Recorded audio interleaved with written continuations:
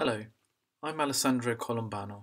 I'm a senior lecturer at the Birmingham School of Architecture and Design at Birmingham City University, and this is my presentation for Education, Design and Practice Conference. For this, I'm going to talk about STEAM in the city, STEAM design thinking uh, in the context of Birmingham, a city in the Midlands, UK, and in particular, a facility called STEAM House. But firstly, I'd like to introduce the principle of STEAM, first coined by Harvey White, a co-founder of a telecoms company. It was about combining science, tech, engineering and maths with arts in its broader sense. And to quote White, he mentions, we simply cannot complete and compete in the new economy unless we do something now about creativity and innovation. So it's about how the arts adds value to technology uh, and and other uh, sciences uh, for for progression. The approach of encompassing art practices and design thinking is used predominantly in higher educational institutions in North America and is gaining traction uh, in the UK as well through this specific STEAM approach. For this presentation, I'd like to discuss how within our university, BCU, and in particular the School of Architecture and Design, we're interpreting STEAM design thinking and how it's been applied in the context of Birmingham's creative scene and manufacturing sectors. We've done this by establishing and developing a STEAM House, an innovation and prototyping centre, housed within a 1500 square metre facility in Digbeth, which the area is a former in part of a former industrial heartland of, of Birmingham. But this project is not just about a building or a facility, it's conceived as a program with a broader conceptual idea for a response to the contextual factors that affect creativity and entrepreneurial engagement in the city. This starts with its heritage, and we look at the coat of arms here illustrated on the left hand side. We've got the artist and the engineer, supporters of the city, representing identity and industry respectively. In 2013, Eastside Projects, an artist run uh, gallery located in, in Digbeth, published the sixth edition of their user manual of how their uh, creative organisation is run. You can find these online on their website. Artists Peter Nencini and James Langdon interpreted the supporters of Birmingham as a layered urban landscape, questioning the role of the artist in, in its development. So whilst this presentation is about setting up a facility like Steamhouse, I'm more interested in the perspective of how artists and an artist-led gallery can work with a university and who are the cultural engineers needed to produce a facility like Steamhouse and how it's run. Eastside Projects worked closely uh, with uh, Birmingham City University to establish Steamhouse. So if we look a bit closer at their uh, outputs and their their background to see how their influence has informed uh, the thinking behind the facility itself, as well as the universities. In many of Eastside Project shows, their vision as a gallery for the public is to question the role of the gallery for forging a new city, to reclaim Birmingham as a city of production. This is exemplified by Production Show, a, a two-year series of exhibitions using the artist and engineer as a uh, modus operandi, pairing up artists with different engineers to fabricate their work. If, if to quote from their press release, the gallery is a machine for the production of art only in collaboration with others. Users of Production Show are imagined as early adopters of our future production city. Art extracts raw materials, transforms them into social outputs, that question and provide services and experiences. Production show will encompass multiple systems, materials, and routes of production from industry to digital, craft to DIY, hammer to iPhone. So for Eastside projects, it's by working with our hands on a micro scale, in this case through the artworks and the artifacts generated, where large scale ideas of change can occur. And that's that's what they see their part of their role as a, as a gallery space. In parallel, the Birmingham School of Architecture and Design, we have our own approach to design thinking. where entrepreneurialism has been a, a kind of a tenet of its kind of thinking ever since the 1950s. We use innovative teaching practices such as live build projects, cited as early as 1951, to engage uh, how education and, in particular, educators, how academics can play a part in the city. The images you see extract are extract from the Architect and Building News Journal in 1963. It describes the city as both place and spirit that evokes a spontaneous reaction, both in its industry but also how the School of Architecture has, has responded to this context. So for Steamhouse we have two supporters, the university and the gallery. The university, founded on vocational colleges including the School of Architecture, the gallery, Eastside Projects, a self described artist run multiverse set up in 2008. So, why did we want to set up a facility like Steamhouse? Well, through mutual uh, conversations, we talked about retaining graduates, retaining and improving talent, improving facilities for young creatives, creating an environment where innovation, innovative new practices emerge, both in studio but also beyond into the city, these two supporters work together in a disruptive process to lead to innovative ideas and details to set up a, a, a building facility and form. And we'd like to kind of begin how to look at how these have impacted on the creative culture of, of Birmingham. It's also to look at how, how this industry informs our own brand of innovation. The City of Making report in 2018 investigates the state of manufacturing. It concludes of the rising interest in local production, products and objects or services that are well made, but for consumers, the place of production uh, is just as important as uh, the project uh, produced itself. It indicates why, why universities and technical colleges provide training there's a lack of flexible space and technology to bring a full design process together to form an innova- innovation driven manufacturing cluster.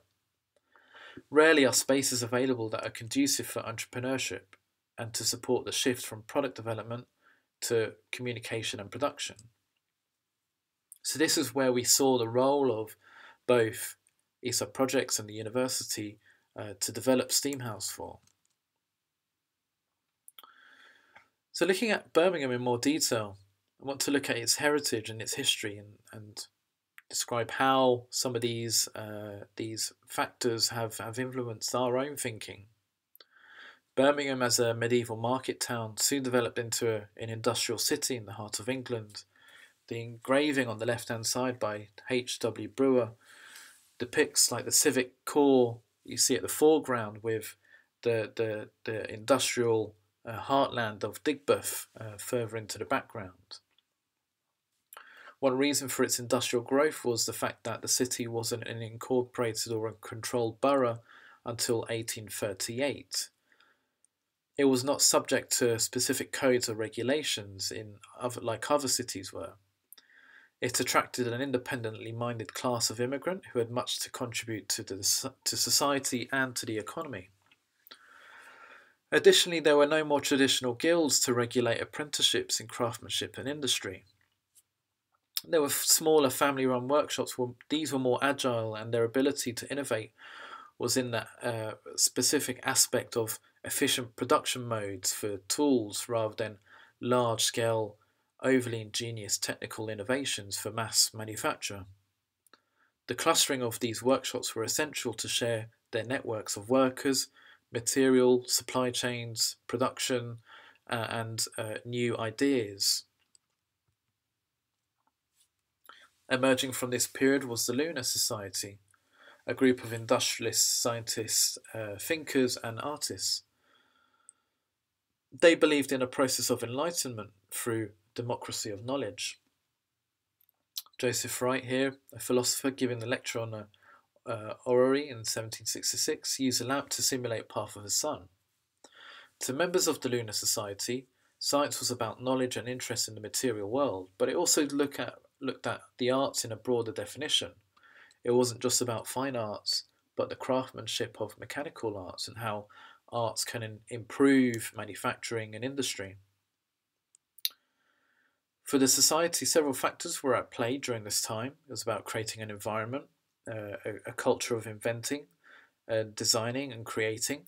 It was also about free from institutional regulation, which was kind of key to their to, to their freedom and their ability to innovate.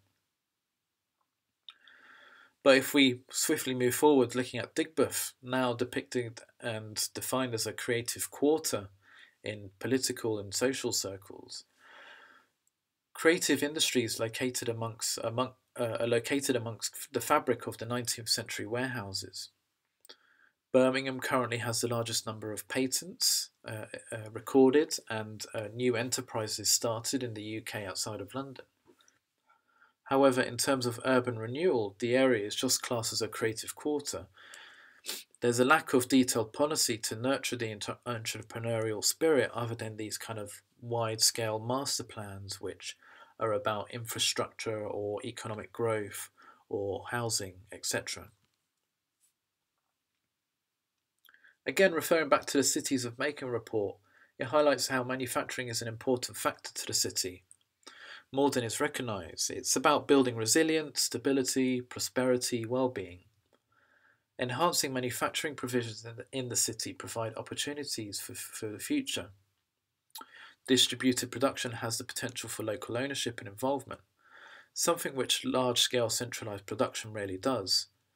Urban residents have the ability to make their city in a way that's not been possible before, and this connects with the idea of Industry 4.0, the age of mass customization. So we need to kind of see how this uh, 4.0 can fit into Birmingham, individually tailoring items at scale. But we think that kind of Birmingham Birmingham's well placed. Its industrial heritage is based on this kind of small scale handcrafted technology uh, and, and manufacture it thrived on on the kind of decorative uh, items of buttons, trinkets, pens, toys, tools, all created through these small uh, workshops where they shared ideas on, on steam mechanization. Steamhouse were working with artists uh, to look at new and existing technology to embed it within their practice to create new ideas and applications uh, for industrial sectors such as well-being, health, uh, etc. But before we go into Steamhouse uh, in more detail, I want to talk about the, the kind of lead up to it. And this started with conversations between uh, colleagues within the School of Architecture, as well as Eastside Projects, in particular Ruth Claxton, Associate Director at Eastside. Through a small Arts Council research grant looking at case study visits, uh, we then developed and produced a proposal on Birmingham production space, which was about a national scale for production for artists and designers. Looking at surveys, understanding the context and the, the landscape for how creatives in the city make, produce, and distribute work. But we're also looking at data around the city. This one more recently from uh, Birmingham Youth Trend, which is developed by uh, uh, uh Beatfreeks, uh, a creative organisation in the city. It's often touted that Birmingham is the youngest city in Europe, with almost 40% of the population under 25. But the Brum Youth Trend report that from its respondents, over 60% of the arts feel that it's important to the city, or the arts are important, but only 54% state that they, they don't go to any creative events.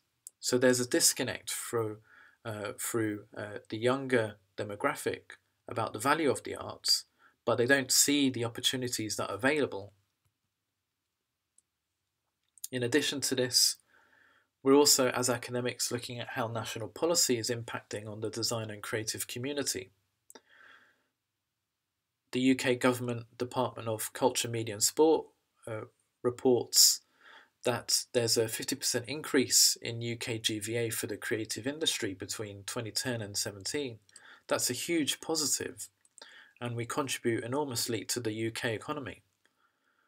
But at the same time, the Design Council, in Designing for a Future Economy report, indicates that 50% of schools have closed down art and design departments since 2000. So we need to think about what will happen to the future pipeline for the design industry and also the, the kind of academic context. So in this background, we'll look at how we developed Steamhouse and the and specifically the, the, the kind of finer details within it. And we go back to these two supporters. We have the university and the gallery, BCU and Eastside Projects, each extending the networks to fund and develop a program of activity. The total funding for the project was 3.5 million.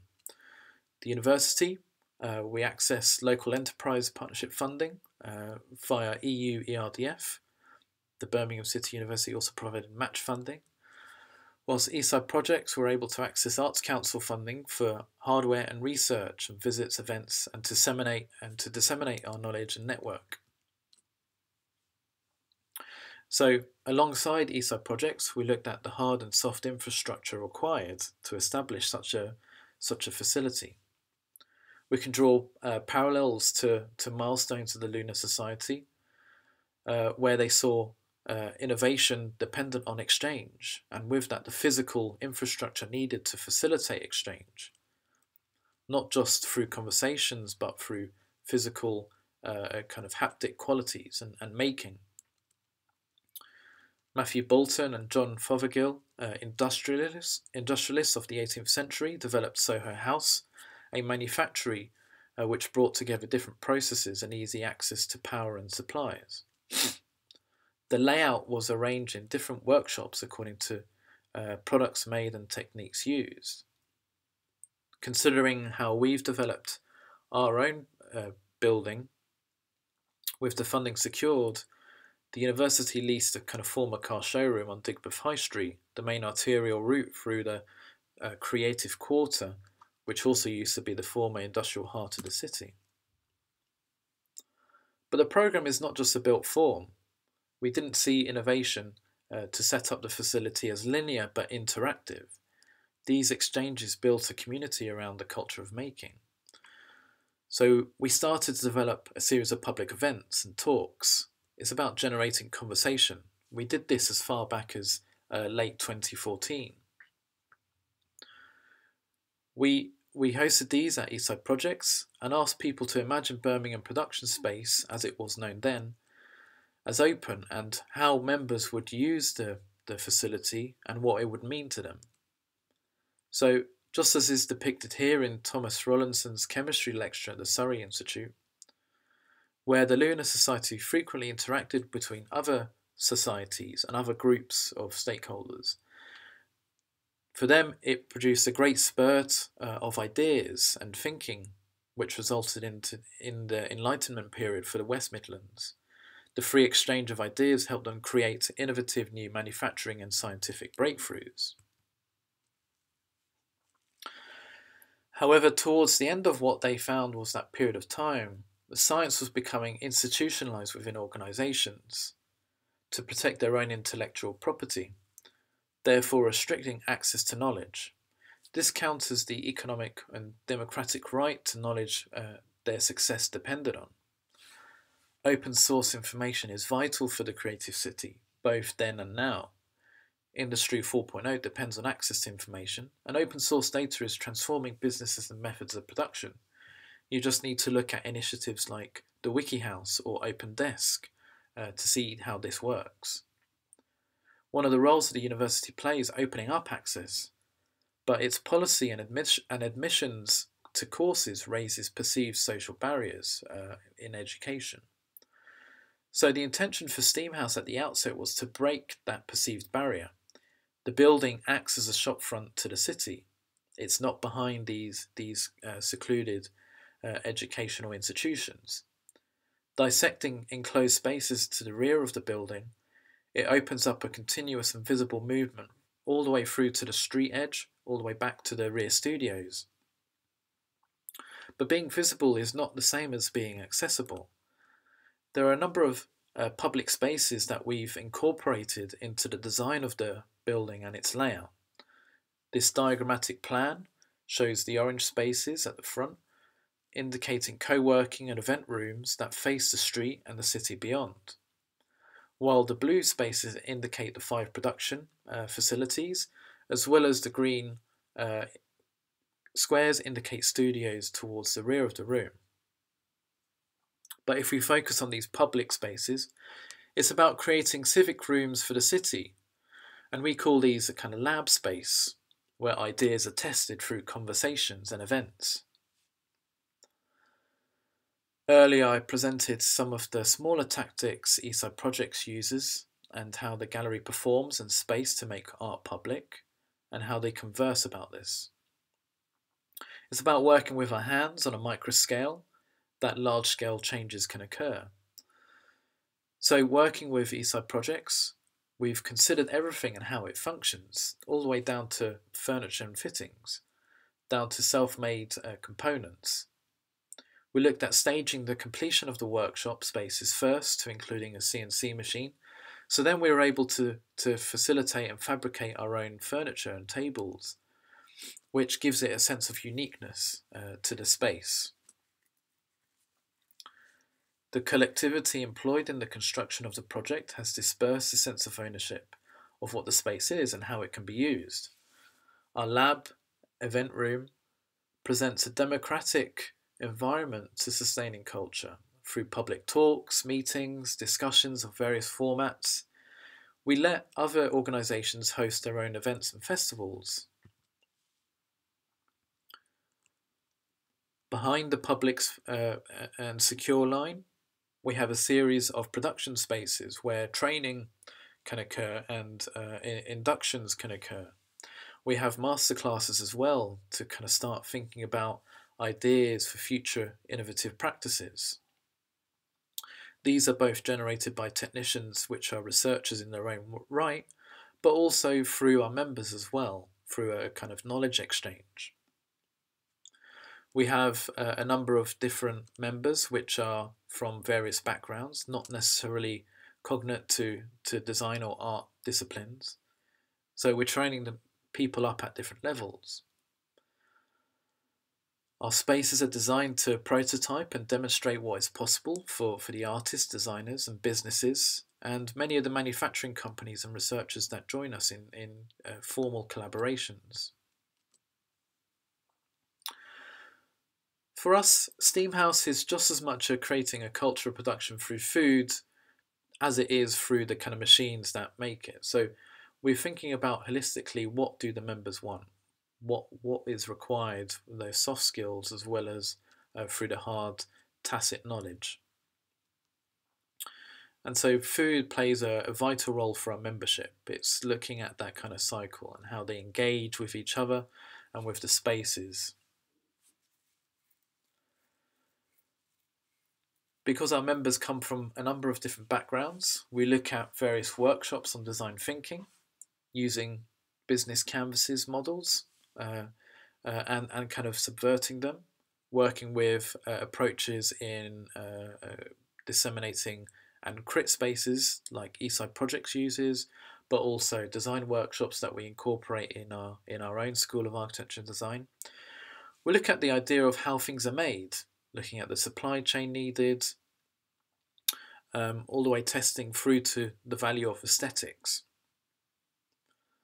So we're trying to kind of uh, bring education into a broader realm rather than kind of distinct qualifications that you find in universities.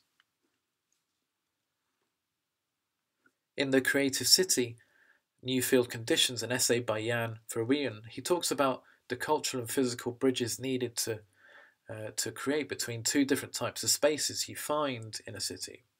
Firstly is the spaces of flows, areas that link nodes, movement, people, goods. And then there's spaces of place, areas that provide meaning to people and their everyday lives. In his essay, Jan concludes that new cultural industries need to build bridges between the, these types of spaces. And this is where Steamhouse needs to kind of move towards and what we're working towards. There is a clear role here for the university, as well as an arts organisation, to play. It's about kind of creating these, these uh, cultural bridges, as it were. So finally, we've been open for about a year now, and we've started to, to, to measure the impact as indicated by some of the, the facts here indicated. We're looking at connecting the physical, the space of flows for artists, designers, entrepreneurs, and connect them to kind of be starting to produce new products which are able to be commercialized, distributed, uh, experiences uh, uh, to, to kind of learn and develop from. It also needs to create a place that means something for our members, as well as more impactful, meaningful uh, production of objects uh, for the city, and how mechanisms of industry and institutions contribute to the creative culture of Birmingham. So it's not just purely an economic uh, uh facility, something to the improve the economies of scale, but about improving how it connects to its location of Birmingham and tapping into that heritage uh, of, of Birmingham's uh, historical industry. So that's where I'd like to leave it there for this presentation. Thank you for, for watching and listening. If you're interested in STEAM design thinking and STEAM House, uh, please do feel free to contact me uh, through the channels that you see here. Thank you and enjoy the rest of the conference.